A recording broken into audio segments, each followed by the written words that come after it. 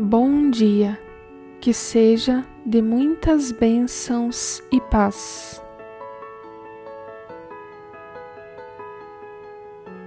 Obrigado, Senhor, pelo milagre de mais uma manhã.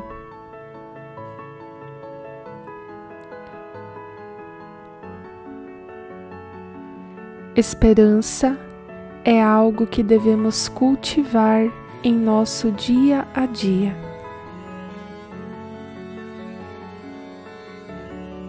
Buscai primeiro o reino de Deus e a sua justiça, e todas estas coisas vos serão acrescentadas. Que teu dia seja repleto de bons momentos, sorrisos e tranquilidade.